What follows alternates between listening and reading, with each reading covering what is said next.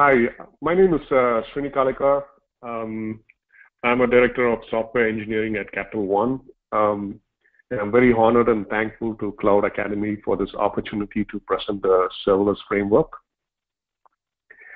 As part of my day job, I work as an enterprise divisional architect at Capital One, guiding teams migrating systems from on-premise to the cloud. We have a mandate to move all the systems to the cloud by end of 2018. It's a tall order. Rather than doing a lift and shift, we are looking to exploit the agility and uh, capability of the cloud to redesign these systems uh, to be cloud native from ground up and FB uh, cost conscious. And that's where um, uh, the serverless strategy comes into play. We are employing serverless strategy for as many designs as possible.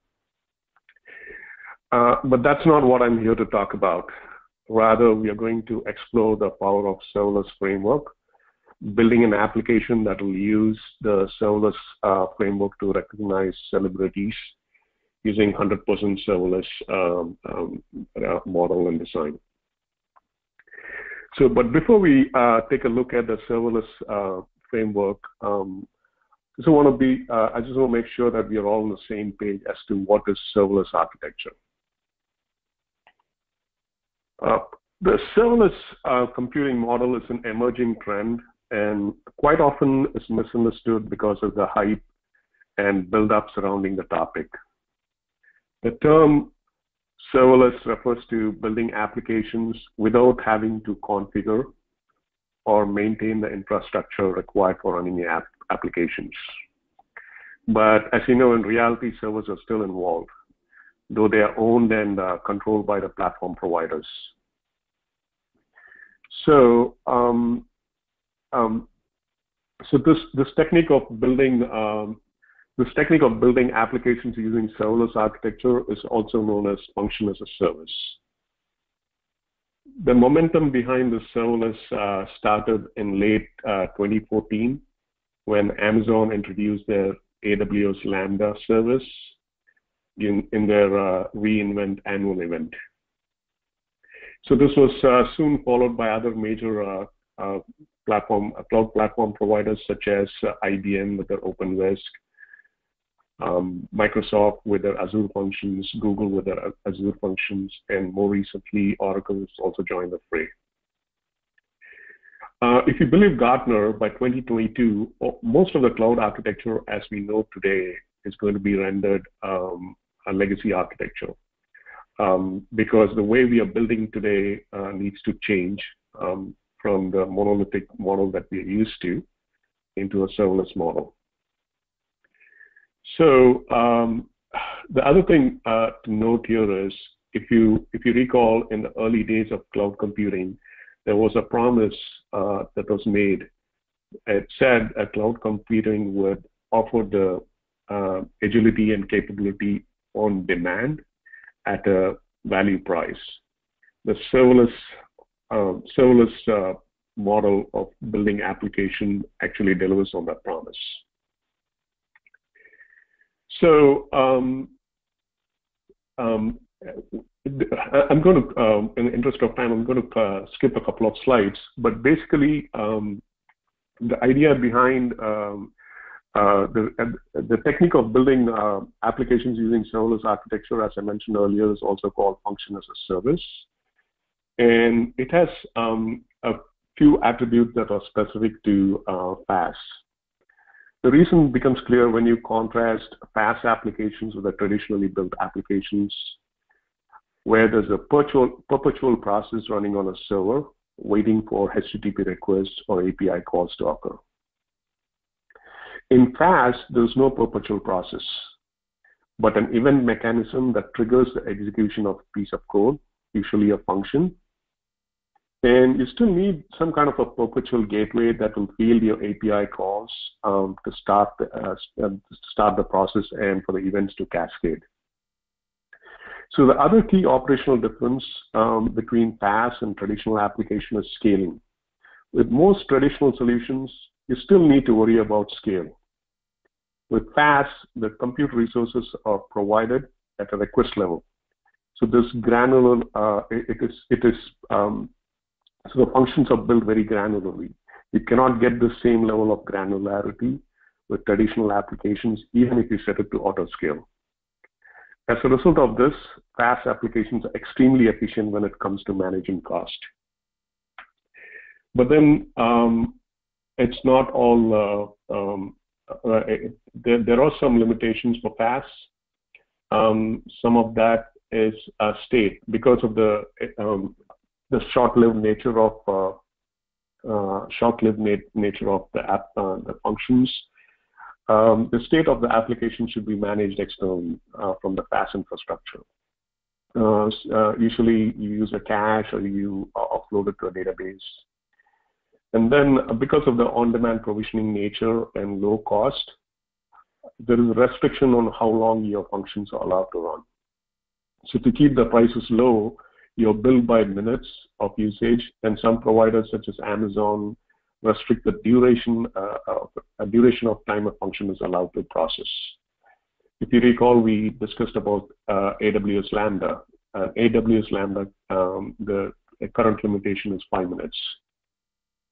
So uh, um, the, the key takeaway uh, here is uh, state between requests must be maintained outside of the function.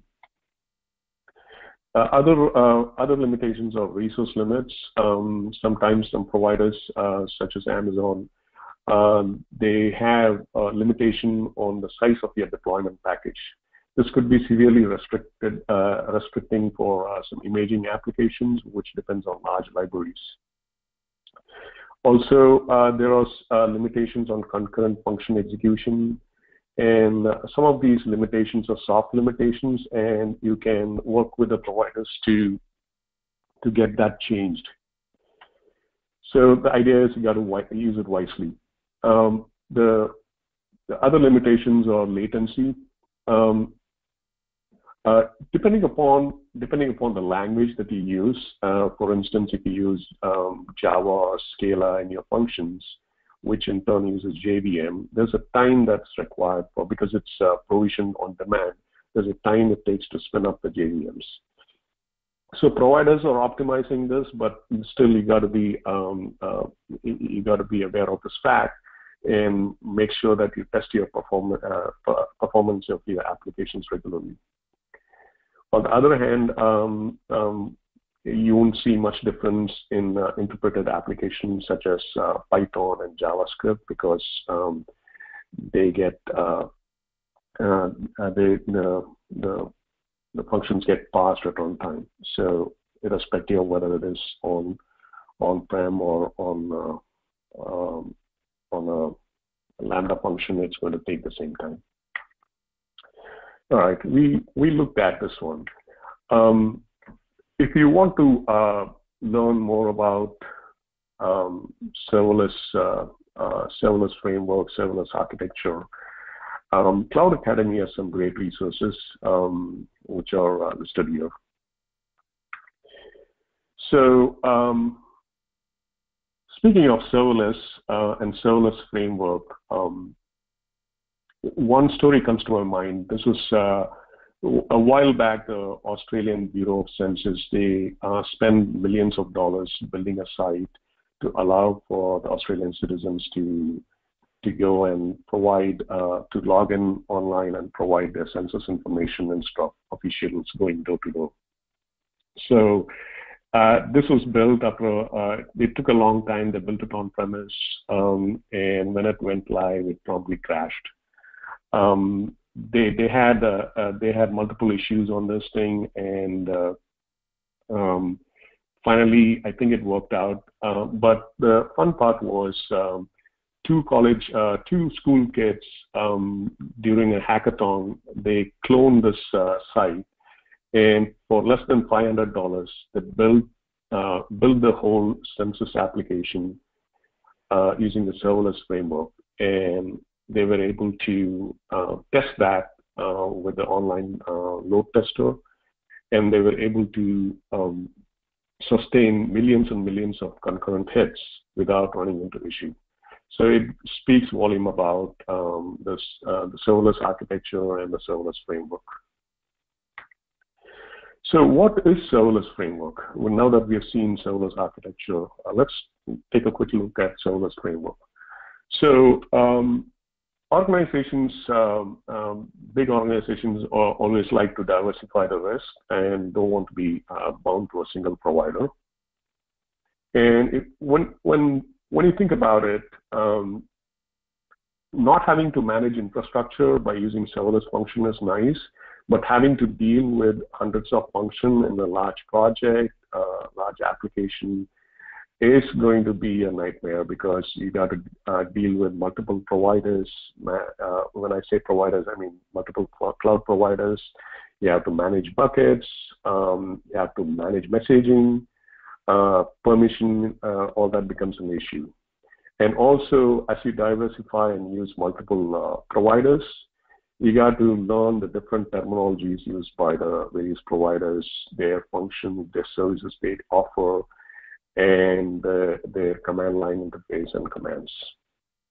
So this is where um, serverless framework comes to play. Um, it comes to the rescue. It's an MIT open source project. It was actively built, uh, built and maintained by a community. Um, has a lot of following. Um, it allows you to provision and deploy uh, RESTful APIs, backend services, data pipelines, and also solves other use cases by providing a, um, a framework and a command line interface to build these services. So the important point about serverless framework, it, it's, it not only um, uh, allows you to um, build and deploy, it can also manage your code. So it manages your code as well as your infrastructure. The core concepts of serverless framework. The serverless framework, um, uh, the idea behind serverless framework um, is there is a main service, uh, which basically is a unit of organization. Um, this uh, service, as a matter of fact, a project can have multiple services. It's uh, you in the service, you define your functions. A function could be, um, for example, in this uh, example that you're seeing here, um, um, so you have uh, um, um, two functions, um, create users and delete users, and then these uh, functions are triggered by events. That events here are basically HTTP events, which um, which gets triggered when somebody uh, goes uh, calls uh, the URL uh, with users create or users delete at the end. Now, um, the whole uh, service is defined in a file called, uh, configured in a file called serverless.yaml. It's a YAML file, um, much more terse than an XML file, and more readable than a, a JSON file. Um, so trying to see why my okay there you go. Um, and as I mentioned, a function is an independent unit of deployment. It could be a microservice. It manifests itself as Lambda in AWS World, Azure Function, and Microsoft.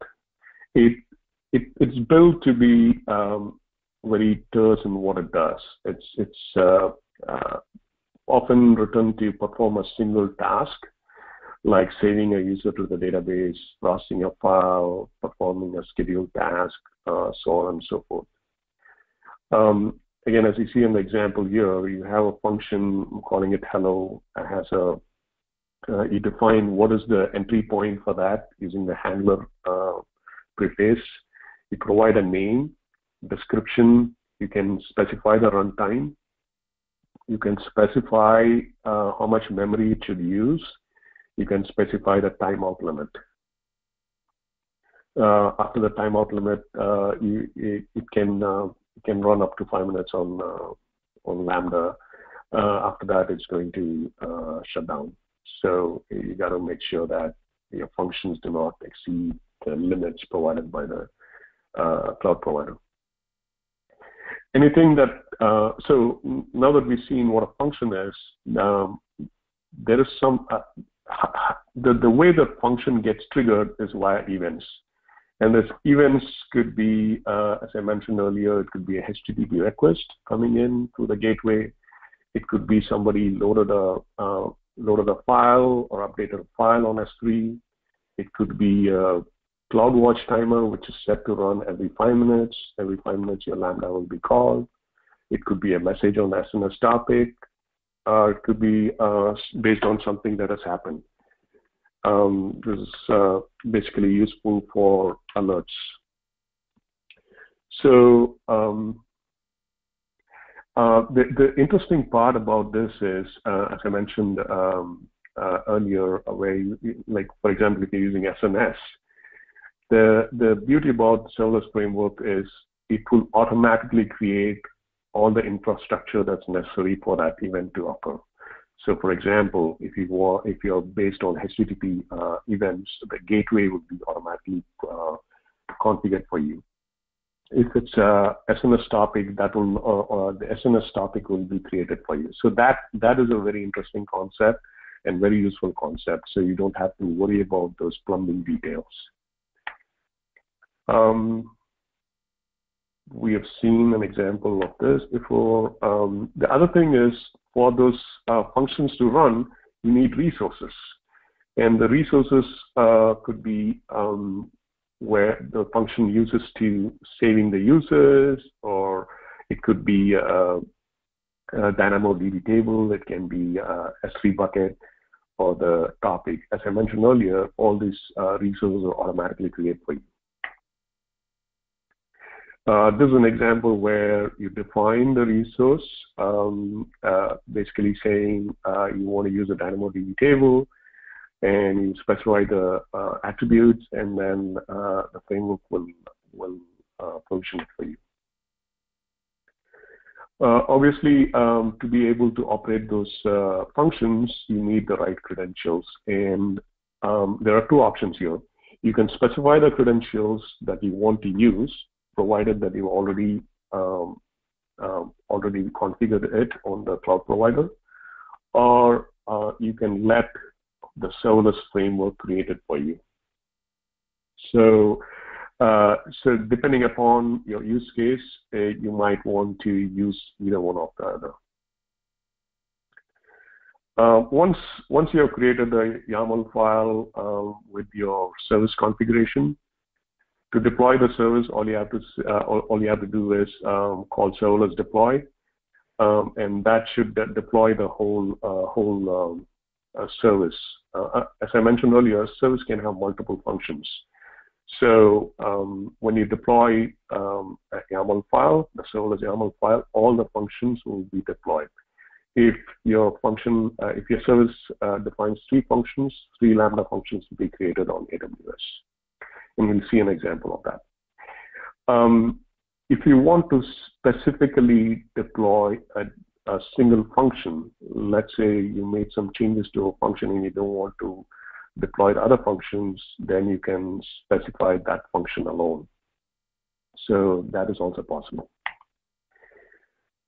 Um, the other thing that's, uh, that's interesting is you can invoke, um, so um, if you want to test your function before you actually uh, do something on the cloud, you can test it locally by calling serverless invoke local, and that should uh, invoke the function. Um, you can also invoke the function directly. Um, that's uh, deployed on the cloud using the serverless invoke function. You don't provide, you don't specify local here, and this will basically go and call the function in the right staging environment on the cloud. So that is a quick uh, overview of the serverless framework. Um, now, uh, let's take a look at the um, application. The application uh, basically um, that we are going to use has this, uh, uh, I'm just going to go to the design um, and describe the application, and then I'll show you a demo of the application. Um, the Celebrity Sleuth is uh, the name that I provided for this application. Uh, what it does is it allow it it will uh, the, the, idea behind this use case is let's say that there's a celebrity on on on TV that you are trying to figure out who it is. Um, you can take a picture of that uh, person uh, using your uh using your uh, cell phone, um, the camera on your cell phone, and then use SMS to send the message, uh, send the send the image along with some commands. Um, so here you're using the using the cell phone uh, um, as a UI, uh, the SMS as a UI, and uh, you since it's uh, going to be freeform, there's a certain grammar that you have to use to ensure that you're sending the right commands. Um, that SMS message is uh, intercepted by Twilio. Twilio is a messaging service. Um, um, so as a result of, uh, you need to sign up for a uh, sign up for a, the Twilio service. Um, they had uh, uh, they had um, they had some free um, numbers that you can use for a certain period of time before you can make your uh, make your mind. So I'll encourage you guys to sign up and play around with it. And uh, basically, what it does is uh, it takes the message that you send, intercepts it, and based on the configuration that you provide, it will call a certain RESTful API. In this particular case, uh, we're going to call um, the API gateway on Amazon, which then would um, push it to uh, a set of services, and we'll take a look at those services. Basically, there are two sets of services that uh, um, that we have um, for this application. One is the request processor, other one is a response processor. There's the first Lambda here uh, as a request processor and response processor. This is the this is a service which is basically responsible for talking to Twilio. The actual uh, face uh, recognition software um, is being uh, dealt by this um, middle set of services um, called uh, face recognition service. This one in turn uses uh, AWS Rekognition um, and also for matching. If a match uh, faces face match is found, it will also go to IMDb and then get the biography of the person. So these three sets of uh, services. One is basically to create a collection. You can a collection is nothing but a small database of faces, um, and um, and then uh, you, basically you, pro, you, specify that you want to create a, a, database, and then after that you can keep adding faces to it. Uh, this adding phase is basically to train the train the recognition. Um, as some phases added, um, it will uh, um, AWS Rekognition um, will find vectors in your face, uh, vectors in that face, and then store those details. It doesn't actually store the image; it just stores the uh, vector. It's like uh, like a vector is nothing nothing but like a fingerprint of a particular face. And then uh, next time when you say uh, match the face, it will uh, then um, find the vectors in the face that you want to match, and then compare those vectors with the vectors that's already stored in the AWS Rekognition database. If it's a match is found, uh, then it will give you the identification uh, for that name, and then you use that identification to look up the look up the biography of the uh, person. So um, the code for this is in my GitHub site, uh, Escalica Faces, and uh, as I mentioned, there are two main services: uh, Twilio Communication Service and Face Recognition Service. So let's uh, let's take a um, let's take a quick uh, walkthrough of this application, uh, and then we'll look through the code. Uh, all right, so.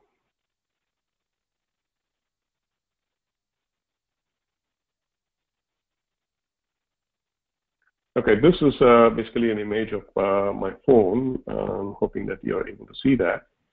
Um, I'm going to find a picture. Um, this is a, I've already trained. Um, I've already trained uh, the software um, with the face of Sean Connery. So let's see if it can find.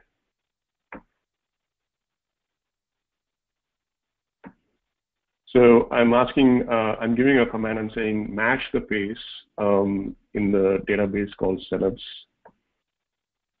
And let's wait for a response back.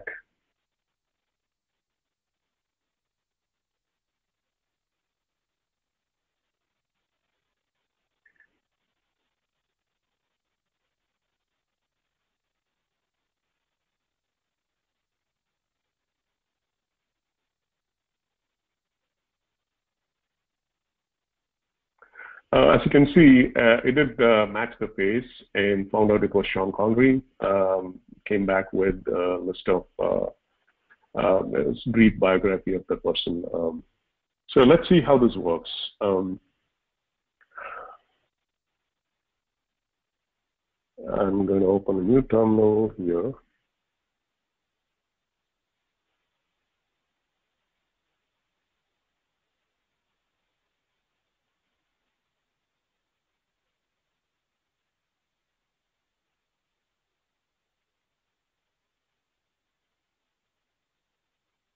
So uh, first and foremost, um, you need to install Python. Um, and assuming that you have done that, um, uh, I have uh, installed Anaconda. Um, so I'm going to create a new um, uh, a, a, new uh, virtual environment here. Uh, I'm going to call it um, Cloud Academy 2. And I'm going to use Python 2.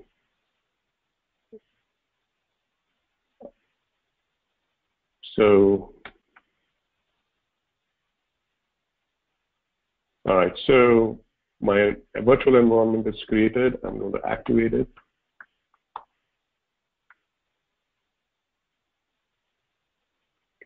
Um, if you're a Windows user, then uh, you might have to use activate faces instead of source activate faces. And all those instructions in the GitHub page. All right, so now that we have created it, uh, I'm going to um, create a directory um, where I'm going to check in my code.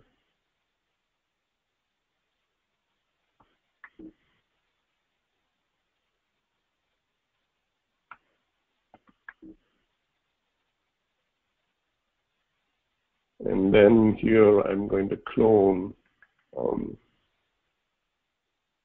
I'm going to clone my uh, GitHub page.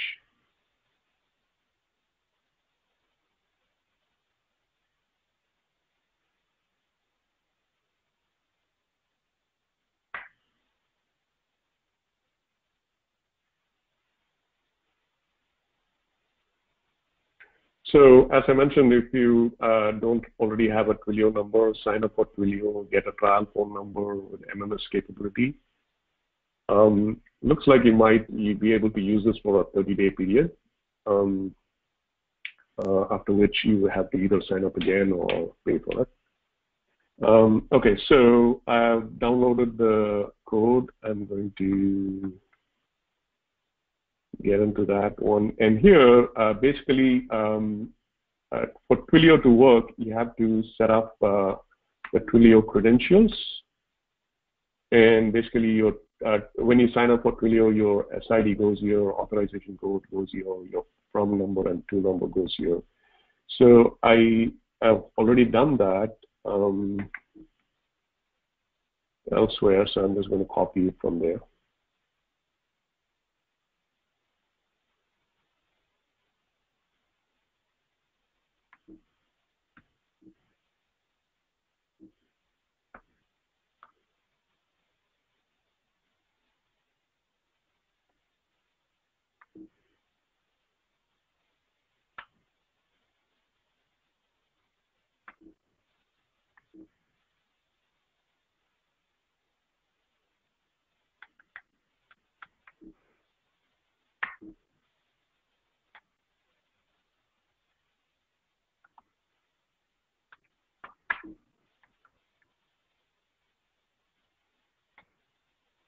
All right.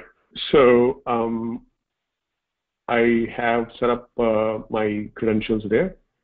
Um, now I can test this thing. Um, so to be able to test it, uh, all I'm doing is, um, and I'll, I'll, walk you through the code uh, if we have the time, what the code does. Basically, it um, oh um, well, I set it up, but I didn't source it. Source. All right. Uh, so my environment variables are set now. All right, so let's see if this thing comes through. Um, it's uh, basically what uh, this will send a static message to my uh, Twilio. Uh, you see this? This one basically came through this. Um, uh, it, it goes from this code. So let's take a quick look at what this code does.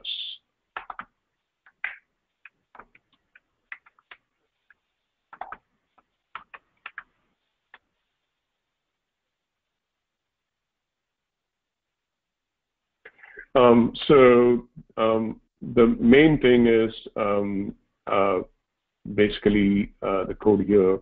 Um, I'm getting the Twilio credentials from the environment variable.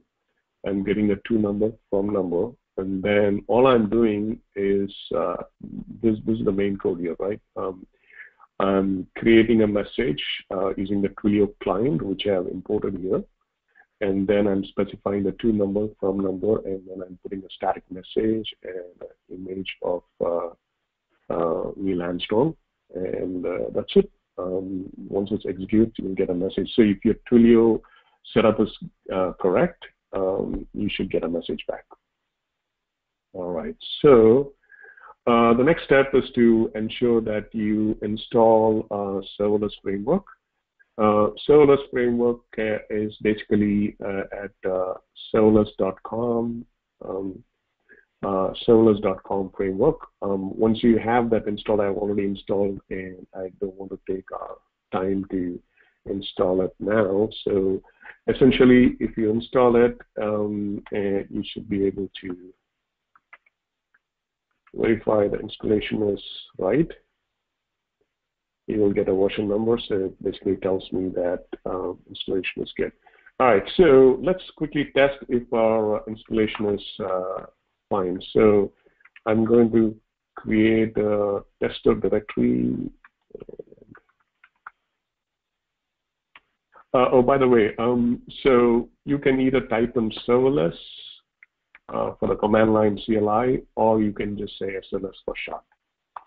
So I'm using uh, uh, SLS. I'm saying create a new uh, service, and I'm using Python and I'm using AWS. Basically, by saying AWS Python, my cloud provider is AWS, and uh, I'm calling the service um, SLS test. So this should actually um, uh, create this um, um boilerplate. And the boilerplate is basically these two func uh, function and the YAML file. We'll just take a look at what that YAML file looks like.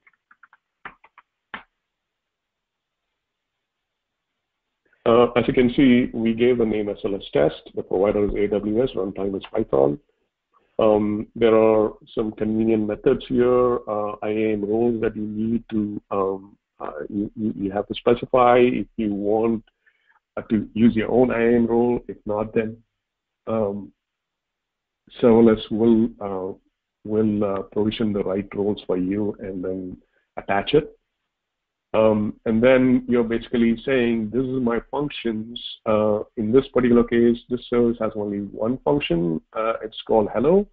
And the method uh, uh, that inside the um, handler.py is handler.hello that's all there is. Um, okay, let's take a look at the Python code that I've generated. Um, this is simple Python. Uh, basically, um, you're calling, um, uh, specifying a body, um, saying message go serverless. Uh, you can change it if you want. Uh,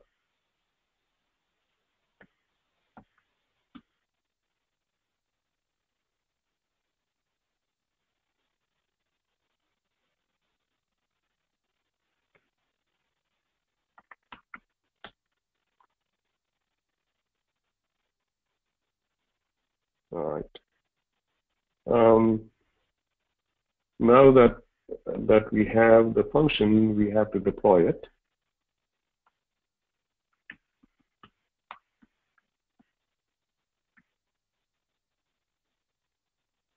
So now it is packaging the service, um, creating the uh, respective stack, and then uh, pushing it into uh, AWS. It's using the credentials that I have created. Um, uh, if you want, if you guys want to understand how to create those credentials, there are links in my GitHub page which takes you, uh, shows you how to create it. Basically, creates uh, um, creden um, it creates a credentials. it's in my home directory.aws credentials is created and this should have all your uh, proper credentials for your user um, to be able to connect to um, to AWS. So once that is there, then um, it will make use of that one.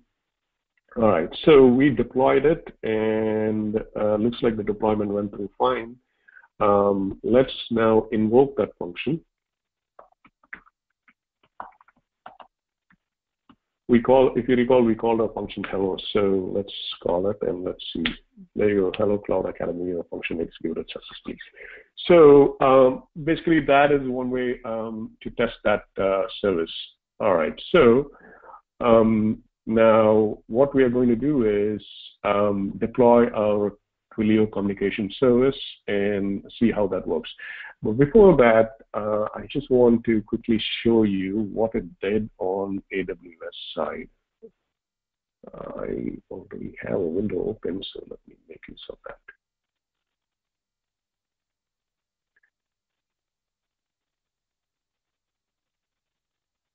All right, so um, we deployed those functions two minutes ago.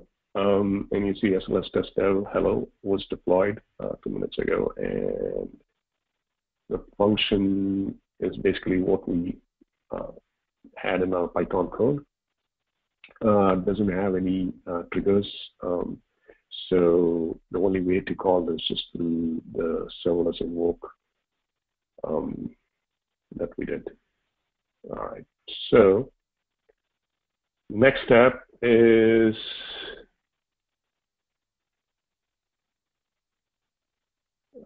Twilio communication.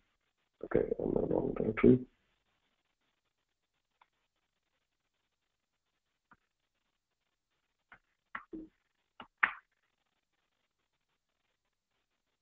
Um,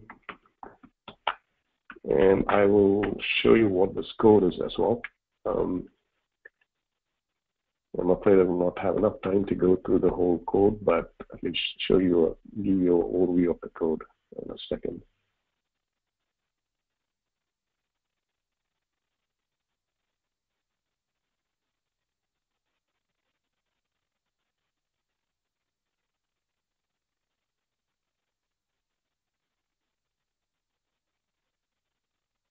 So as you can see, it is creating two functions. One is a process request Lambda function, other one is send response uh, Lambda function. And just as we saw, let's quickly see um, here. Um, these two services were created uh, 24 seconds ago. Um, and the interesting point is uh, because we had configured uh, the Twilio, uh, it created the necessary environment variables. Um, in this advanced setting, you will see all the, uh, that?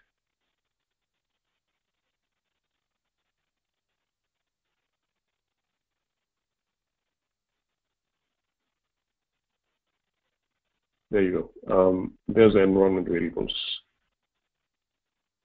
So it created those things. Um, so we just want to make sure there's no errors. Um, obviously there isn't.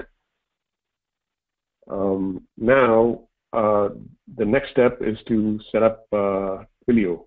Um, Twilio is basically, um, and uh, let me pull this one here. You, you go to Twilio console, in this particular case, uh, since uh, we're running out of time, I'm going to show you that what I already did. So Celebrity Suite, uh, uh, Celebrate Cell Suite is the is a message that I have uh, a messaging service that I've created. Um, and I have created this to um, whenever a request comes in, uh, I've asked it to push the uh, request to this um, uh, RESTful service. This, this RESTful service is the one that was created by AWS Lambda. So let's take a quick look at that. So uh, it not only created, the serverless framework not only created the Lambda functions, but it should have also created the appropriate gateway. So it is, uh, this is, uh, this was just created for us. And then if you go to the stage uh, dev section, this is the URL. Um, as a matter of fact, you can see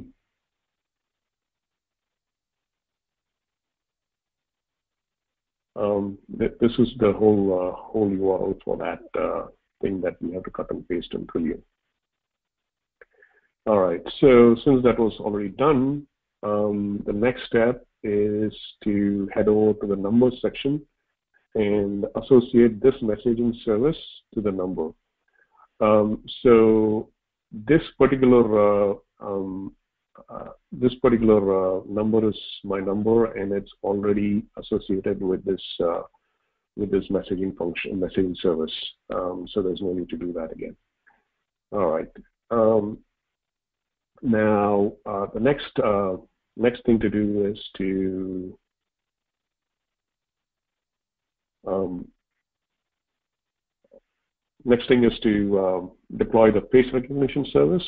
Um, so before I do that, I want to show you what the uh, serverless YAML for this one looks like uh, for the Twilio communication service. Um, all right. So um, this is a service that we uh, we are creating, Twilio communication service running on AWS using Python 2.7, using East region. Uh, the, the, uh, the reason why I'm being specific about the US East region is uh, that um, AWS Rekognition service that, uh, that Amazon provides uh, currently is only supported in two regions. One is US East, and one is US US uh, West Oregon. Um, I've heard that they are going to start supporting the, uh, the government uh, uh, region as well, but they might have already. I'm not so sure. Uh, any case, uh, so there are three fun uh, the two functions here. One is to process requests, other one is to send response. The process request um, um, deals with uh, two uh, two environment variables. You specify the environment variables, and then you specify the events that it operates on.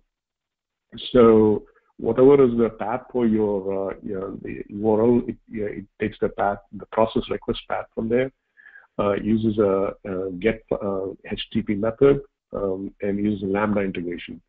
Uh, basically, uh, here uh, what, what, we're saying is uh, when the event comes in um, integrated with an existing Lambda, um, and and then um, now the thing is Twilio uses TwiML. That's their XML language the whatever request comes in, it will be in that language. So that needs to be converted into JSON so that um, our Lambda functions understands that. So we are going to create the Lambda function um, from that uh, from that uh, body of uh, Twilio ML, the Twilio XML, uh, by pulling in the uh, to number, from number, and all that from the input parameters.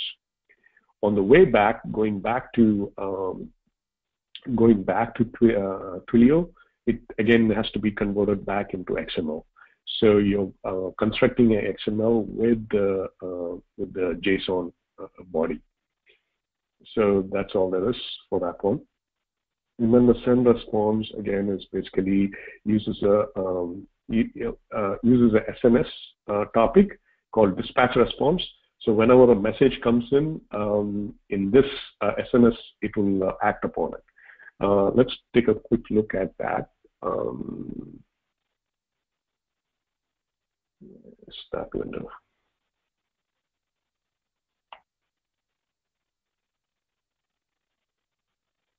So if you see here, um,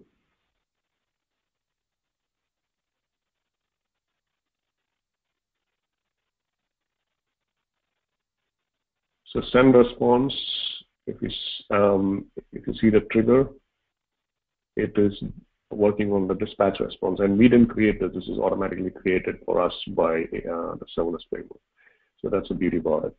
All right, so um, let's now take a quick look at deploy the face recognition service.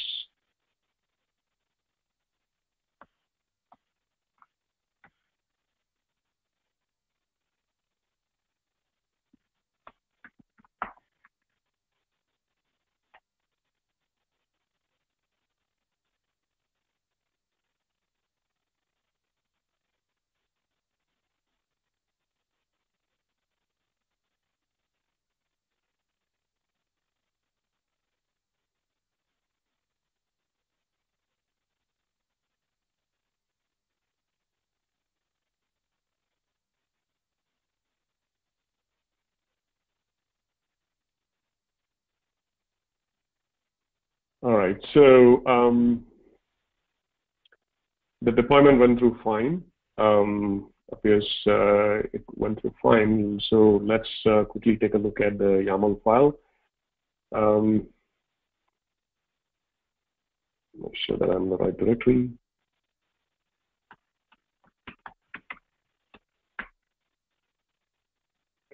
Okay, so here, um, again, it's uh, AWS Python 2.7, but there are three functions here.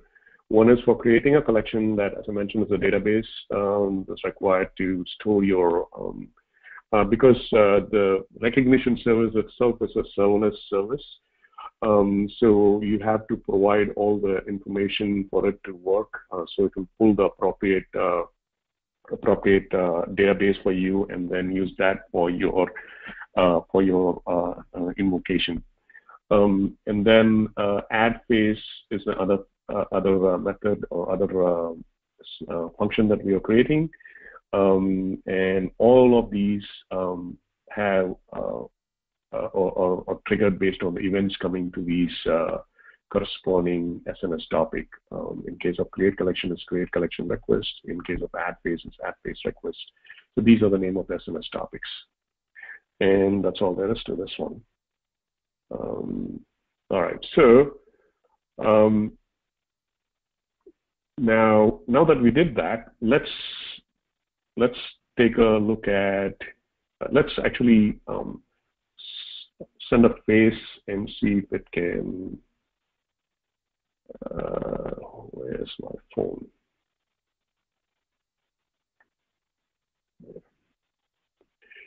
All right, so um, let's let's add a collection first.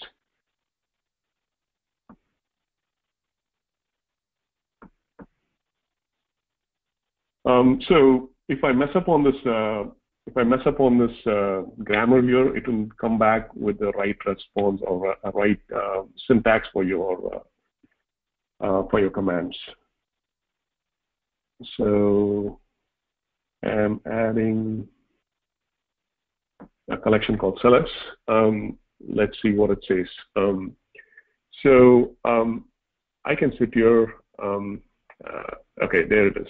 Got an error message. Uh, basically, it is saying that the SNS um, topic uh, is not authorized. Uh, uh, the Lambda function is not authorized to use the SNS topic as a matter of fact, we can see this on the um, on the Lambda itself. Let's take a quick look at that. Lambda management console. We go to the function, um, and I think it's uh, preview communication service process request. Uh, monitoring. There's invocation error.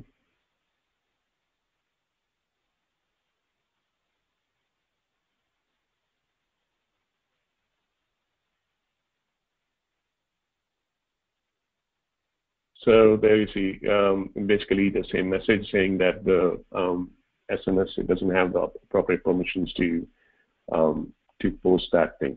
All right, so um, let's see if we can collect that one.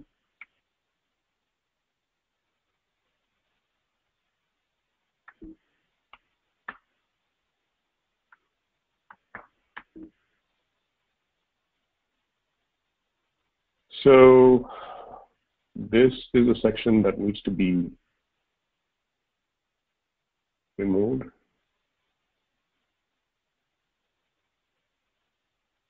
So this is a topic that I've already created, right? Um, and I'm saying it should now use this topic, um, and uh, I'm giving the appropriate permission for this topic um, for my uh, for my user.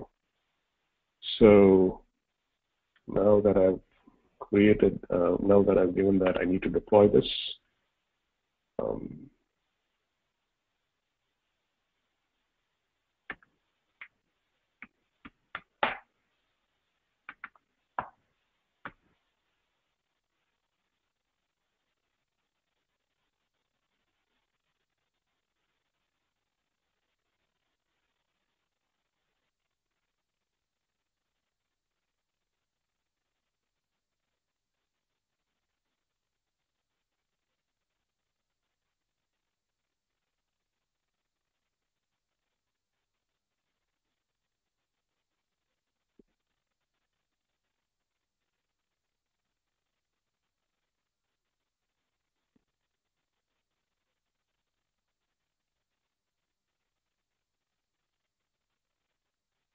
All right, so we did this thing, and uh, if we try it again, it's going to fail because we have a similar issue in the face recognition service as well. So um, if we had the time, then we could uh, uh, slowly debug it and uh, figure that out. But in the interest of time, I'm going to fix it beforehand.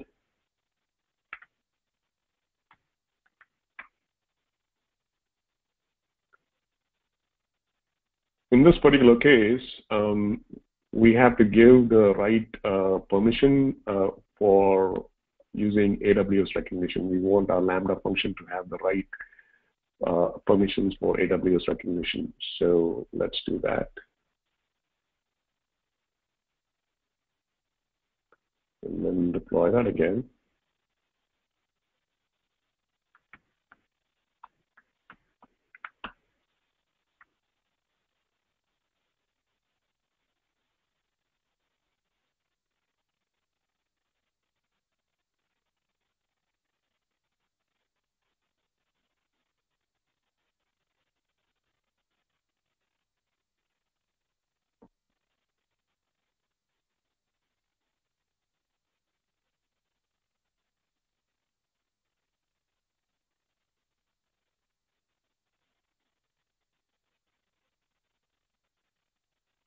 Hmm. Okay.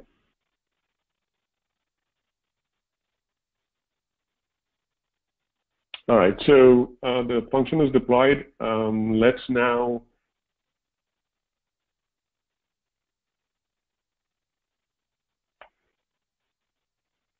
um, let's now go to Google, find the image. Let's do Mel Gibson now.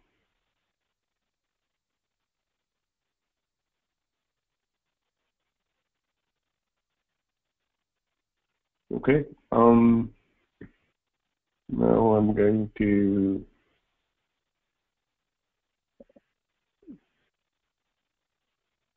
first I'm going to add the um, add a um, collection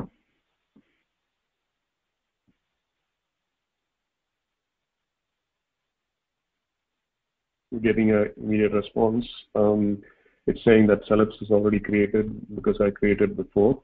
You can create a new um, database if you want. And then now I'm going to um, basically um, the image that we saved, uh, let's add that as a training image.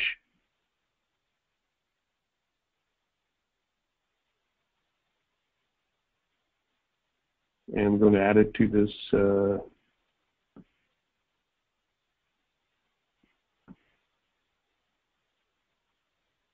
Um, the name, uh, the way I have put in the name, uh, I'm I'm separating the first name and the last name with the underscore. Uh, and when it spits it out, when, when it goes to IMDb, it takes this uh, uh, removes that uh, token in between and then does a search based on the first name and last name. Oops, I need to attach that image. So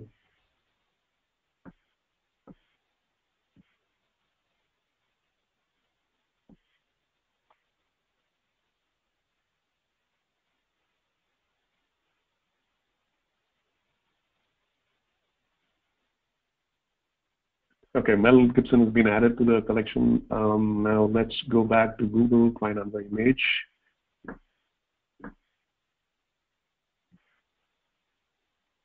Uh, let's take this one.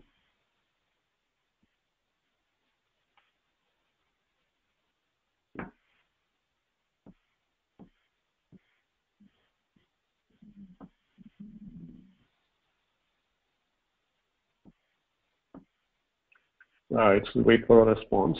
As you can see that we use a totally different image. It's an older Mel Gibson compared to the one that we used. Hopefully the facial feature has not changed so much.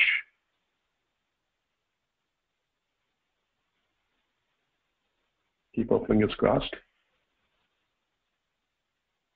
There you go. Um, 100% confident. That's good. Uh, so that is the application. Um, the way it stands right now, um, there are a few enhancements that can be done. Uh, one is to put the, it's now running, uh, it's not in any VPC, all this, uh, all those Lambda functions are out in the open, um, so that needs to be put in a VPC, uh, so security needs to be boosted. So all those things, I'll leave it as an exercise for the developers. Um, um, since we only have a few minutes left, I would like to answer some questions. Um,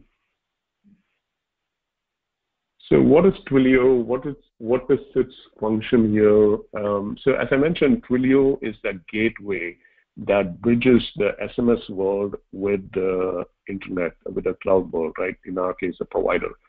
So as I as I showed earlier, um, you sign up for a number with Twilio and with the MMS capability, and uh, you can then uh, configure it to uh, forward any request that comes to that number to to a gateway on uh, on your provider. So it's a very useful service for uh, bridging the SMS world and the, and the cloud world. Um, is serverless applicable for more complex systems of Lambda functions, meaning that we have several Lambda functions scattered in several directories invoking each other and you want to upload the code archive in the, in the zip, possibly in S3 bucket? Uh, yeah, you can um, you can use uh, uh, so you can use serverless uh, wherever you're using Lambda. Uh, makes it uh, if you have a project with lots of Lambdas, um, you can use the serverless uh, framework to handle that. Uh, as a matter of fact, you can incorporate uh, serverless framework into your CI/CD pipeline uh, to make it a seamless process. Um, there, of course, uh, AWS provides their own uh, um, Terraform or some some such um, scripting language to do the same thing. but the beauty about serverless framework is it does a lot more where it manages the code also for you and uh, it allows you to um, uh, allows you to um, create those uh, um, resources for you automatically that you specify in your uh, in your script. Um, uh, why is the cloud formation stack being used? So uh, internally, uh, what uh, Twilio does is it converts the converts the um, configuration that you provided in the YAML file into a cloud formation stack and then deploys the stack. Uh, that's how it uh, it does for AWS. So for Azure, it uses um, Azure's native um, native cloud formation um, equivalent uh, to to uh, create that script and then calls Azure. So depending upon the provider, it uses the um, uses the corresponding uh, cloud formation stack.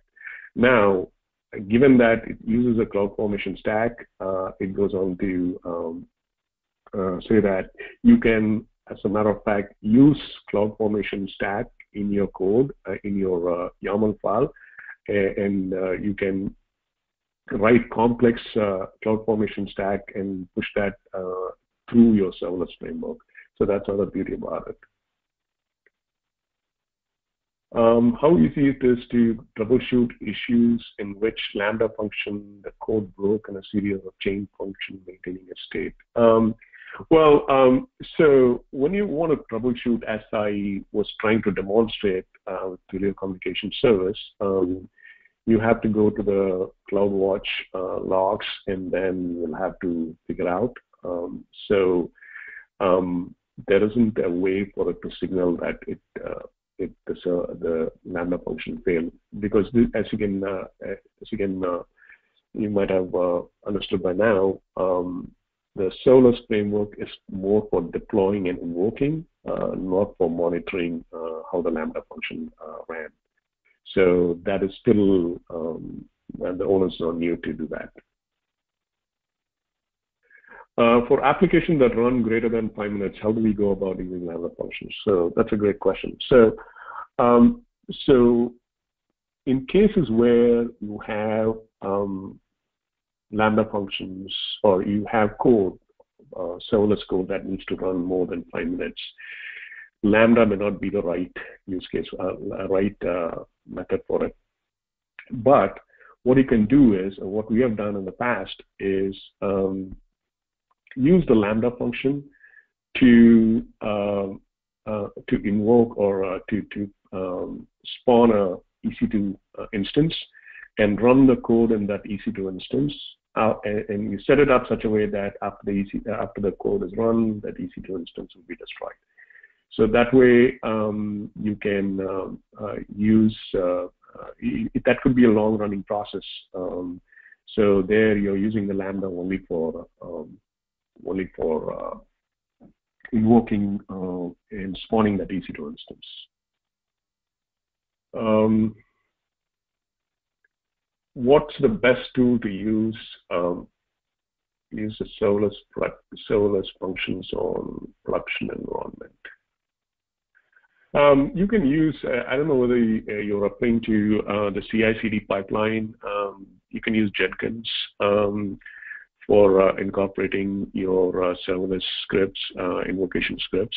Um, it's basically Unix commands. You can add that to a script and then push that to your Jenkins uh, as part of the pipeline.